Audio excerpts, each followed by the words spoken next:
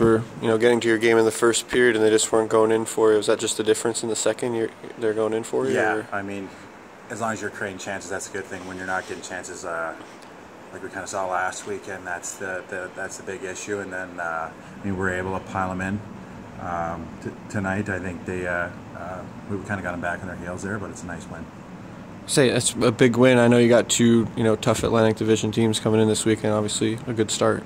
Yeah, yeah. I mean, we uh, we knew we were going to face two really good hockey clubs this week. We were, we were prepping all week to for, for spring to come in. You know, they gave, they routed us pretty good here last time. Um, we got them. We, we got them this time, and now uh, it's uh, get, kind of put that in the back of our minds, and we got a really good Charlotte team coming in here. So.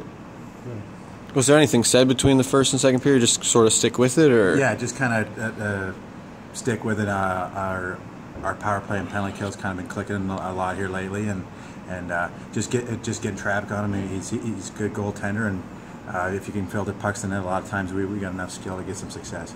You really got the short breakaways going second period. Yeah, you know we that's our especially with our PK forecheck. That's that's what uh, we'll take away from a lot of teams, especially they're trying to force through it, and we got lots of team speed.